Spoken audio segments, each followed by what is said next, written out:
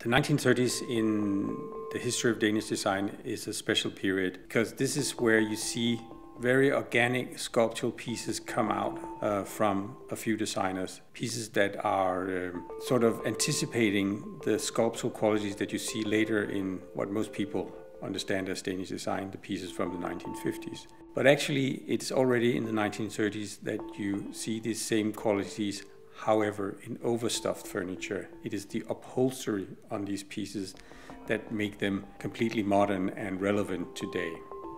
For me, the Wulff chair is a sign of the privilege that we have today in Denmark with such a rich design history. We're able to go back into history and pick out those pieces that sometimes were made by unknown designers, pieces that have that organic form that works so well in today's interiors. And we can just pick it out and use it today without necessarily taking everything that was surrounding it at the time. What generally defines uh, Danish design is, of course, the high level of craftsmanship. And with these overstuffed pieces, like the little Petra chair, it's, it's of course very difficult to see that. But exactly the back legs become sort of like the red dot in a white room. It's that little thing, that little detail that gives you this great sense of craftsmanship.